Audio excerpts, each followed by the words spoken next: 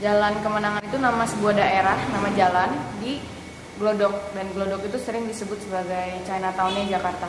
Aku ingin menelusuri dan mencari tahu kenapa uh, praktek culture kebudayaan etnis Cina itu semakin lama semakin luntur. Jadi itu itu pengalaman pribadi yang aku alami.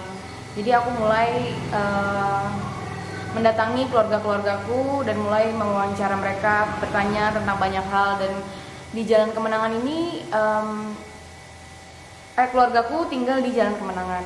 Jadi um, opa dan omaku tinggal di sana dan di sana aku mulai bertanya-tanya dan mereka adalah uh, salah satu korban dari uh, kerusuhan Mei 98.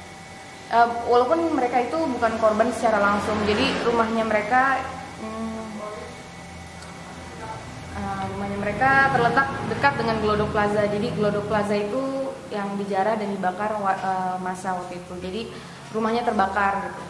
Jadi um, di sini aku menemukan uh, sesuatu yang menarik gitu. Jadi um, penemuanku bahwa memori dan histori yang tidak saling tidak saling mendukung satu sama lain gitu. Jadi kan aku uh, rencananya kan mencari mencari tentang kenapa praktek uh, kultur kebudayaan itu semakin luntur.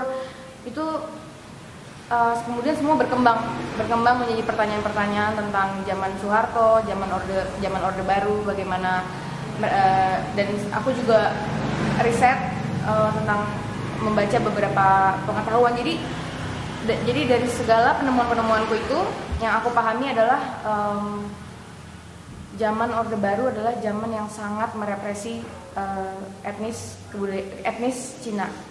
Jadi aku uh, proses aku adalah pertama mendatangi mereka, melakukan pendekatan-pendekatan, kemudian uh, wawancara.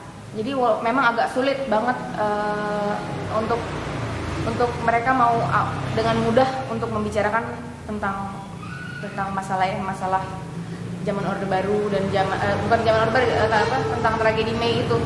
Jadi um, ketika aku berhasil mewawancara beberapa orang ini, um, aku bertanya tentang uh, kejadian tersebut gitu, gimana, sedang apa, dan bagaimana reaksinya mereka gitu. Dan mereka bercerita banyak hal dan salah satunya yang terus uh, yang yang aku melihat ada kemiripan dari dari mereka semua ini adalah mereka bilang uh, foto album mereka terbakar, terus uh, sertifikat sertifikat sekolah, terus um, surat keluar uh, surat kelahiran, terus kartu keluarga semua terbakar, dokumen-dokumennya terbakar habis. Jadi aku terus uh, selama wawancara itu aku berpikir bahwa bukti bukti visual dan bukti tertulis dari uh, bukti bahwa mereka hidup eksis di dunia ini adalah uh, itu sudah terbakar.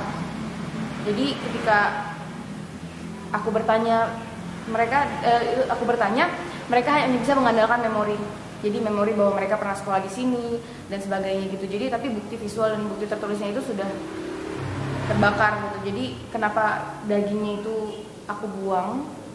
Jadi aku pengen menggambarkan bahwa identitas mereka yang sudah hilang. Kemudian aku jahit karena aku uh, meminjam ungkapan merajut memori. Jadi aku mer, uh, aku merajut uh, seperti nggak merajut sih menjahit kayak menjahit bentuknya seperti kaki seperti tangan yang hingga membentuk dia menjadi satu individu. Gitu dan kenapa emas? Karena aku aku menurut aku uh, memori itu adalah sesuatu yang berharga gitu. Ketika aku wawancara dengan generasi yang lebih tua itu mereka ter, terlihat terasa berat untuk berbicara walaupun uh, ya mereka akhirnya berbicara tapi tetap aku melihat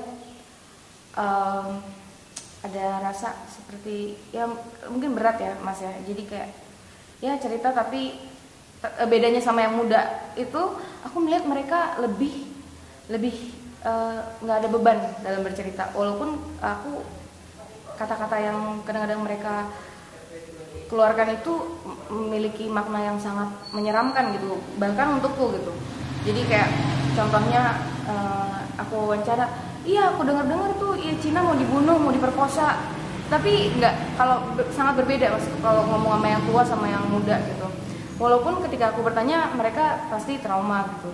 Tapi mungkin dan itu juga aku uh, berpikir mungkin kenapa aku harus berhati-hati dalam mengangkat isu-isu yang uh, berhubungan dengan ini gitu mas. Karena aku pun juga mungkin kenapa aku tertarik dan ingin menelusuri uh, tentang tragedi gitu. Itu mungkin karena aku juga di aku impactnya nggak terlalu besar. Tapi mungkin bagi orang-orang yang kejadiannya sangat dekat itu mungkin tidak ingin mengangkatnya lagi gitu. Cuma ya tadi yang tadi aku bilang awalnya aku pameran ini bukan untuk mengangkat tragedi Mei. Lebih ingin menelusuri tentang jejak-jejak mengapa tradisi etnis Cina ini di Indonesia semakin lama semakin menurun. Dan dan menurutku siapa pun yang ingin mengetahui dan ingin menelusuri tentang identitas kecinaannya dia pasti akan bertemu dan bertemu dengan apa? Dengan tragedi itu sih mas. Karena kita menelusuri kan ke belakang ke belakang ke belakang dan pasti akan ke situ. Karena menurutku 32 tahun Presiden Soeharto uh, memimpin negara ini berpengaruh sangat besar